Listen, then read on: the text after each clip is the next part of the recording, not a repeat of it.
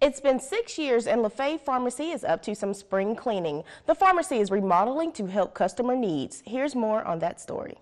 It's springtime, and that means some spring cleaning. If you've been to LeFave Pharmacy lately, you probably noticed some major changes. The health store is currently remodeling to fit customer needs while expanding employees. Basically, we're uh, expanding our employee um, base, so we are, have a lot of people behind the counter right now, and it's getting a little congested.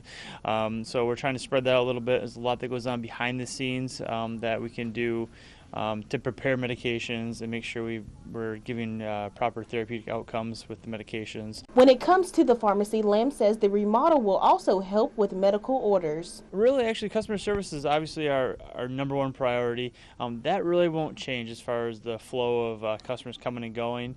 Um, we uh, do plan on waiting on the customers and filling the medications just kind of right as normal. A lot of the stuff that we are doing um, in our new section, our new department there is just kind of behind the scenes work where uh, a lot of doctors' phone calls and stuff so the patients don't have to continuously call the doctor and try to get refills and uh, making sure everything's correct. That way, when they come in, they can pick up their meds. Nice, easy transaction, whether it be the drive-through or coming into the store once again. So. Besides major changes, there are a lot of small changes too, including new bathrooms, new immunization rooms, and more.